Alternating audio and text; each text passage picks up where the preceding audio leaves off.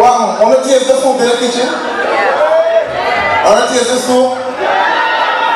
That's Sandra's kitchen, and that's my sister. She's a very good cook. And someone tell me why the girl entry food, you know, I say, yes, I'm a sister. Go buy some more food. You understand? See?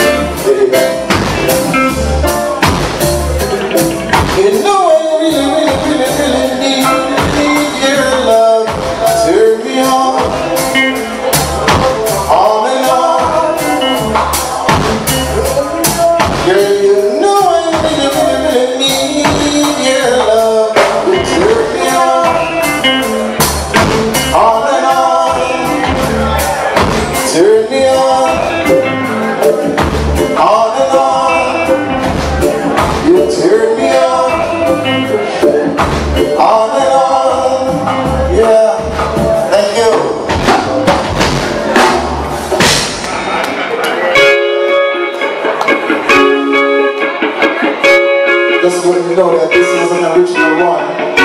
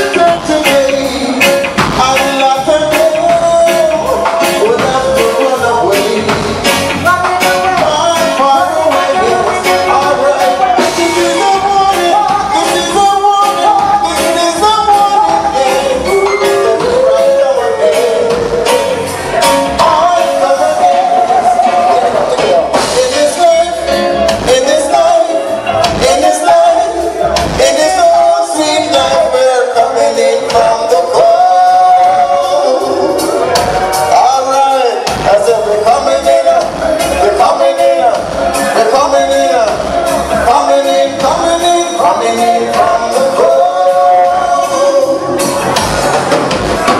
It's you, it's you, you, it's you, it's you we're talking to now. It's you, it's you, you, you, you we're talking to now.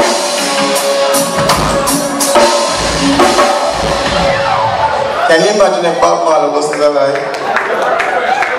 Jesus Christ, pick up some people in the place. Hey, you know, on the, on the band. When people do things, good things, they need to be, thank you. And when they say, boy, I don't want to call my name, I don't call, I don't want to phone nobody. You got to protect yourself. So you make a mistake. Acknowledge the people, there, man. You understand? And if me forget one, then we will say, we apologize. Alright? But first of all, as some people look at it, first of all, I want to big up and I couple more thank God Almighty for making, making this possible. Because without Him, I couldn't do it. I'm going to do it all by myself. And put the kindness in the heart of these people who help to make it possible. So you all could come out and enjoy yourself tonight and listen to some sweet reggae music. You understand? I want to thank Liz Triple A for helping out big time. I want to thank Simone Banton for helping out big time. I want to thank Norma. That woman is always doing good things in the community and a lot of women don't see it. But she's doing good things. A long time she had it. See? And some of them really acknowledge her. But she's a, have good heart. You understand? There's so much people I want to thank, but I remember some of the name them. You understand? That means because some. So please, don't think I forget you. Alright? David Smith. I want to thank you too for helping out. You understand? And all the rest of people, you your name called? Thank goodness, see me.